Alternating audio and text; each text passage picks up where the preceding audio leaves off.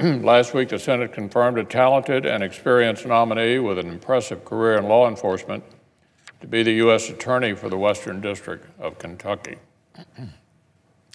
Russell Coleman is the right person for the job. After graduating from my alma mater, the University of Kentucky College of Law, Russell entered public service. His wide ranging experiences at the Department of Justice, the Federal Bureau of Investigation, the Senate, and in private practice make him particularly qualified for this new role.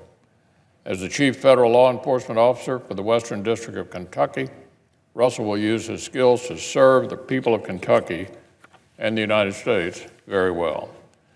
Having served as a special agent with the FBI, Russell understands the particular challenges facing law enforcement in that role. He regularly collaborated with federal, state, and local law enforcement officials on a vast array of issues, and he is well respected in the law enforcement community.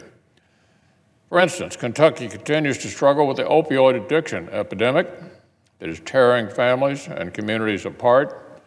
Russell stands ready to collaborate with stakeholders and community leaders to combat it.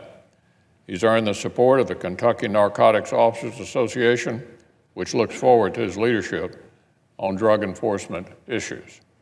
Russell also worked in my office as legal counsel, helping me serve the people of Kentucky.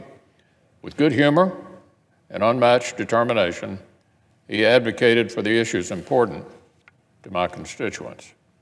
The president of the Kentucky Fraternal Order of Police wrote to me in support of Russell's nomination. Here's what he said Russell was forever thoughtful, courteous, and a true friend to our membership. Now, Russell has the opportunity to serve once again. I'd like to congratulate him and look forward to his service to the Commonwealth and to the country.